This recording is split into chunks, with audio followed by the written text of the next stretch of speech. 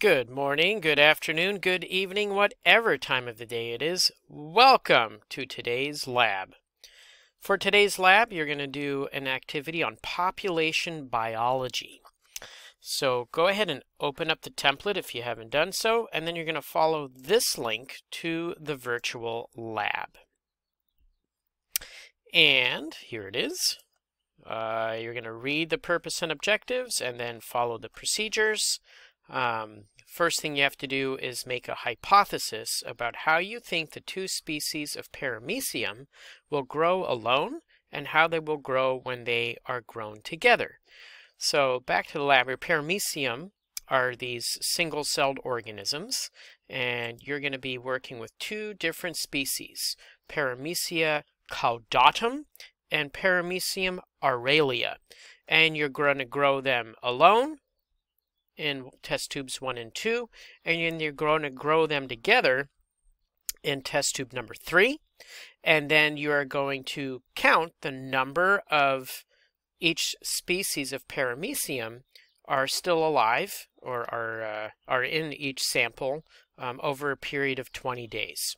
Okay, um, all this information is in the procedure here. You can uh, read it, uh, follow the instructions. I'm just going to demonstrate it real quick. Uh, I'll do the first uh, day, couple of days with you. Okay, so uh, what it says to do is to take a sample from here. So you click once on the plunger and then you drag it over and then you squirt it in there and then you're going to do the that that's the one that goes in the first one and then the Aurelia goes in the second one and then the third one gets both.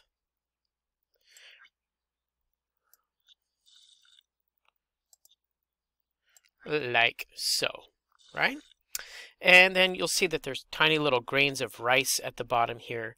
Um, the uh, There's bacteria in here that eat the rice, and then the paramecium will eat the bacteria. So that's providing their food. And so the purpose of the lab is to measure population growth, right? That's what um, this topic this week has all been about, is uh, how do populations grow and what causes them to stop growing. And so one of those things is competition, right? And so that's what you're going to model in this lab. You're going to grow each population without competition, right? And so in your hypothesis, write down how you think those populations are going to grow. Are they going to grow exponentially without stopping? Or are they going to die off after a certain period and why? Um, and then in the uh, third one, you're growing them together. And so there is competition. And then for that one, right, in your hypothesis box here, how do you think that's going to, what's going to happen? Are they going to grow uncontrollably or are they going to level off? Is it going to be as high? Is their population going to get as big as they would in their individuals? Um, that's uh, that's a hypothesis, right? Make a hypothesis of what you think uh, we're gonna we're gonna see in the data. Okay, so after you make that hypothesis, you're then going to record your data in this data table here. Um, and in each one, right, you're recording the number of cells per milliliter for each species grown alone, right? That's test tube 1, test tube 2, and then grown together. So these are both test tube 3. One is the Paramecium aurelia, and the other one is the Paramecium caudatum.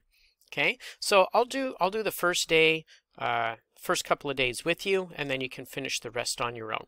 So here's how it goes. Once you're ready, you're going to click on the back here and the microscope, and then you got to set up some uh, microscope slides. So you click on the box to get clean microscope slides, and then you're going to take samples. You're going to click on here, right, and put the samples on there. So this is test tube 1, test tube 2, and test tube 3. And so now you grab the slide, put it on the microscope, and here's what you see. So on day zero, we have one Paramecium caudatum.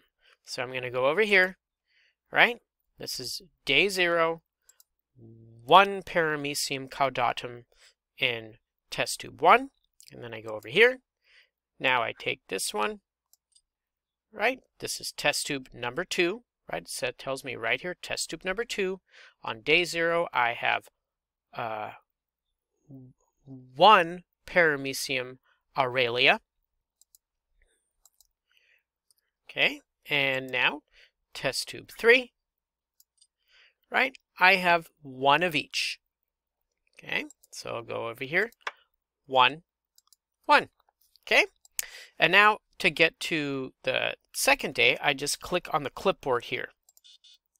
Oh, hold on, uh, clear slides, clear slides, and now I click here. Day two, same thing, clean microscope slides, take the samples, and bang. Oh, and now I see on uh, in uh, test tube one, on day two, I have one, two, three, four Paramecium caudatum, right? Four. I have ooh, one, two, three, four, five Paramecium aurelia. Oh, hold on a second. These are switched around. I'd be careful of that. I may have to go in and fix that. Day three. All right, now we got to look carefully. I got one, two, three, four, five caudatum.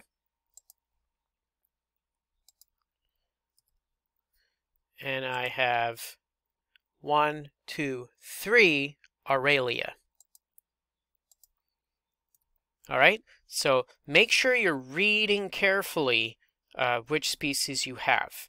And if I did mess it up, I'll fix it. Let me see. What's on slide one again? Caudatum is on slide one.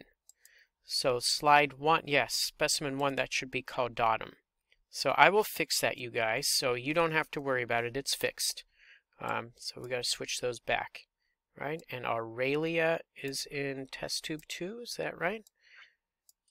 Yeah, Aurelia is in test tube two. All right, so you guys don't have to worry about that. It's fixed. Right, so this is test tube one. Maybe I'll put that in here. Right.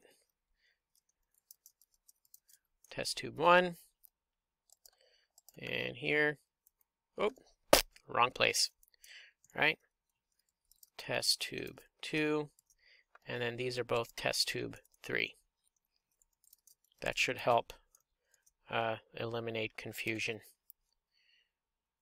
All right, but like I said, by the time you guys are doing this, it uh, the template will have been uh, changed. All right, so there we go.